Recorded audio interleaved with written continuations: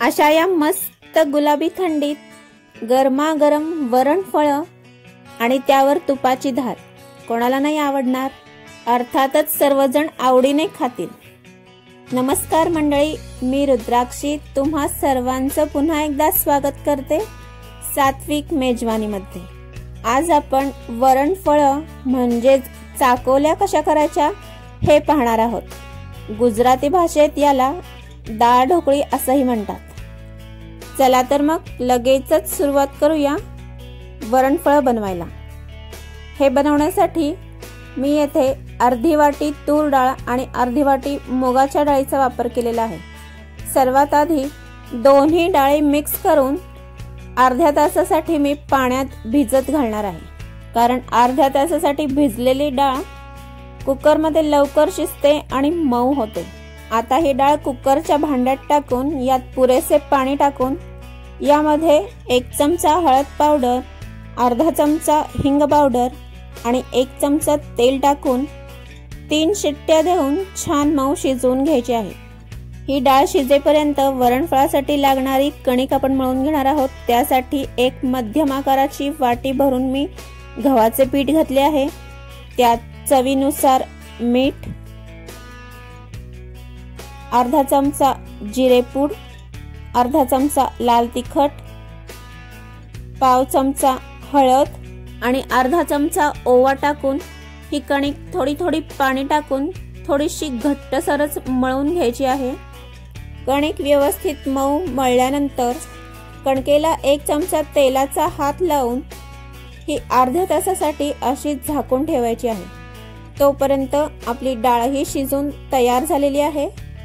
शिजलेल्या डाळीसोबत आपल्याला लागणार आहे अर्धी वाटी बारीक चिरलेला टोमॅटो अर्धी वाटी बारीक चिरलेला कांदा अर्धी वाटी बारीक चिरलेली कोथिंबीर चवीपुरते मीठ एक चमचा मोहरी एक चमचा जिरे एक चमचा लसूणची पेस्ट अर्धा चमचा हिंग व अर्धा चमचा हळद छोटासा गुळाचा खडा एक चमचा चिंच दोन हिरव्या मिरच्या आणि एक कडीपत्त्याची काढी. सर्वात आधी कढईमध्ये मीडियम गॅसवर दोन चमचे तेल टाकून त्यामध्ये सर्वात आधी मोहरी तडतडू द्यावी. त्यानंतर जिरे हिरवी मिरची कढीपत्ता.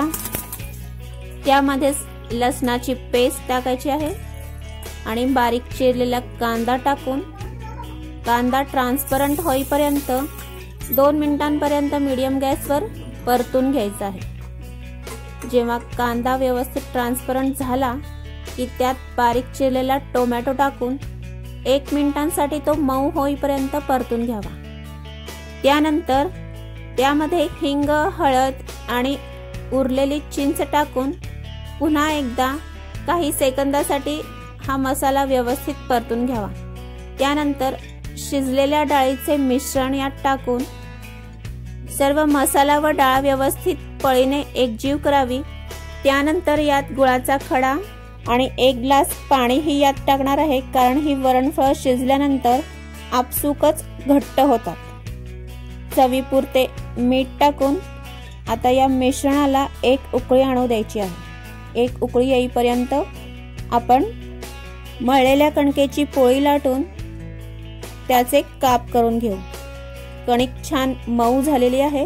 त्याचे दोन भाग करून पोळीप्रमाणे त्याला घडी न करता फक्त मोठी पोळी लाटून घ्यायची आहे. ही पोळी नेहमीपेक्षा पातळ लाटून घ्यावी. कारण याचे काप जेव्हा आपण वरणामध्ये शिजवतो तेव्हा ते पटकन शिजतात आणि चवीला कच्चे पण लागत नाहीत. त्यामुळे मी येथे पोळी पातळ लाटून घेतलेली आहे आणि याला शंकरपाळीप्रमाणे आकार देत आहे. आपण हवा तो आकार याला देऊ शकतो. तयार झालेले हे पोळीचे काप उकळी आलेल्या वरणामध्ये टाकून पाच ते दहा मिनिटांकरता झाकण लावून हे वरण पुन्हा एकदा शिजू द्यायचे आहे. या स्टेजला जर डाळीची कन्सिस्टन्सी घट्टसर वाटली तर वाटीभर उकळलेले पाणी तुम्ही यात टाकू शकता. दहा मिनिटांनंतर झाकण काढून आणि गॅस बंद करून बारीक चिरलेली कोथिंबीर यात मिक्स करायची आहे. आणि हे पहा आपली वरणफळ मस्त शिजून तयार झालेली आहे. आणि हा व्हिडिओ पाहिल्यानंतर सात्विक मेजवान या चॅनलला सबस्क्राईब करा आणि बेल आयकॉनचं बटन दाबायला विसरू नका. आणि व्हिडिओ आवडला तर लाईक आणि शेअर करा. आणि हे पहा वरणफळं ही छान शिजून तयार झालेली आहेत. याला मी एका प्लेटमध्ये काढून घेते. नेहमीच्याच पोळी भाजी वरण भातापेक्षा कधीतरी ही अशी छान वाफळलेली वरणफळं खायला सर्वांना नक्कीच आवडेल. चला तर मग पुन्हा भेटेन एका नवीन रेसिपी सहित सात्विक मेजवानीमध्ये. तोपर्यंत अशा गुलाबी थंडीत गरमागरम वरणफळांचा आस्वाद घ्या आणि कमेंट करून मला तुमच्या प्रतिक्रिया नक्की कळवा.